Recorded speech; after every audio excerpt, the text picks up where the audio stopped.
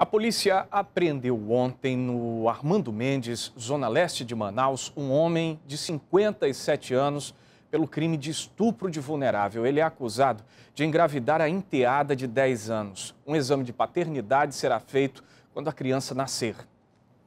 Um outro caso também chama a atenção da polícia. A Eduarda Emanuela Andrade Mota, de 6 anos, morreu ontem no pronto-socorro Platão Araújo, na zona leste de Manaus.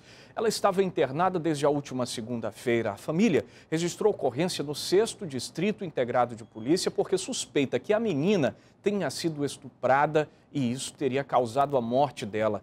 O corpo de Eduarda foi encaminhado para o IML, onde passou por necropsia. O laudo deve ser concluído em 10 dias. A delegacia especializada na proteção da criança e do adolescente investiga o caso.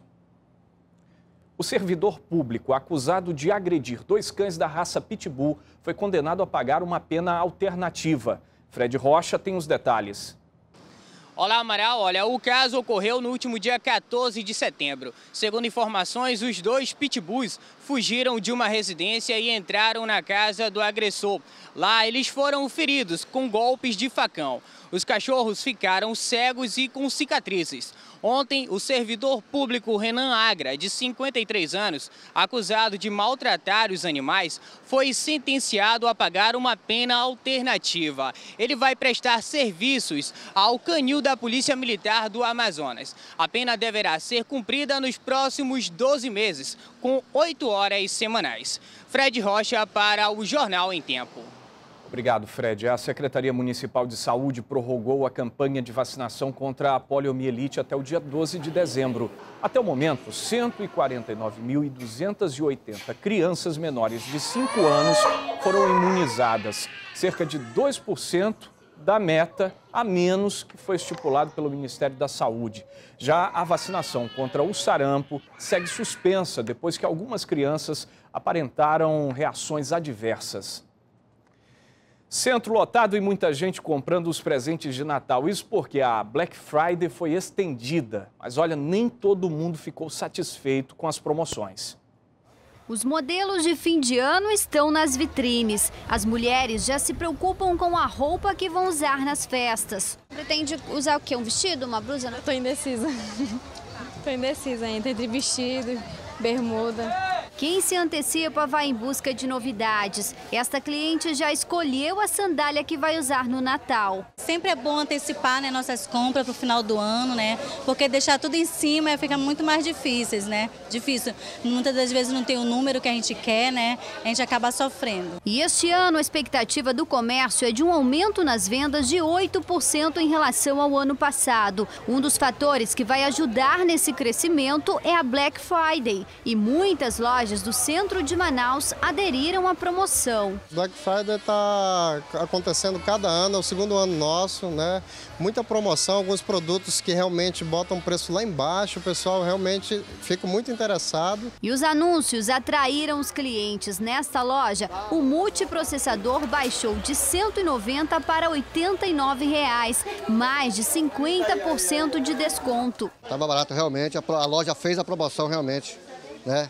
Do que existia, apesar de que muitas lojas e shopping não estavam fazendo não. O senhor aproveitou? Mas aqui eu aproveitei. Mas os shoppings, os consumidores reclamaram dos preços. A Black Friday começou nos Estados Unidos, mas aqui no Brasil a realidade ainda é bem diferente. As fábricas têm que entrar também dando desconto para que a loja dê mais desconto ainda.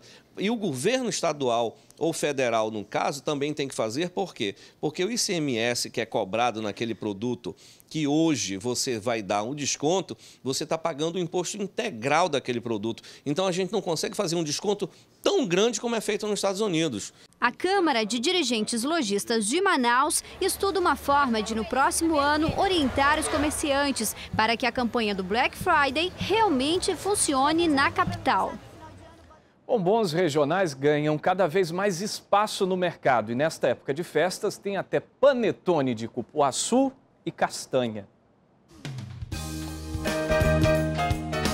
É de dar água na boca. Além do delicioso chocolate, nesta fábrica os produtos regionais fazem a receita, mas tudo tem um processo. Vai primeiro para o tanque, tanque derretedor. Lá é colocado o chocolate ao leite e chocolate meio amargo, que vem ser a mistura. Depois disso, nesta máquina cai a dosagem certa para encher as forminhas. É colocado o recheio e aí elas vão para o túnel de resfriamento e já sai prontinho. Agora começa o trabalho manual, desenformar e colocar no tabuleiro e depois é a embalagem. Esta máquina é responsável por isso. Trabalhar com esse cheirinho no meio de tanto chocolate, não dá vontade de comer? Algumas vezes sim, né? Pode? Não, nós temos todos um devido cuidado para não contaminar o produto. Mas não para por aí, ainda tem o setor de criação. Aqui os produtos são colocados nas embalagens artesanais. Elas são produzidas por famílias ribeirinhas indígenas, distribuídas em 20 municípios amazônicos. E depois de tudo isso, o produto chega na loja assim, com tanto requinte e delicadeza. E é claro, agradando os olhos e o gosto do cliente. Minha filha comeu e adorou e, e me recomendou. Muito bom, é muito bom. Super diferente, é bem docinho, é muito gostoso. Começamos a produzir os bombons, que tem coberturas de chocolate, recheados, trufados. Né? E o grande diferencial foi a utilização das frutas amazônicas. Além dos bombons, outra opção para o Natal são os panetones regionais. O cuputone é recheado com cupuaçu e tem também o panetone de castanha. Os dois custam R$ 41,90. Sabor bem regional, com aquela cara do panetone de sempre. Veja depois do intervalo os desafios de executar projetos sustentáveis e práticos. Aqui na capital, duas iniciativas para o transporte coletivo ainda geram polêmica. E no esporte tem luta lá na quadra da Aparecida com a quarta edição do Rei da Selva Combate.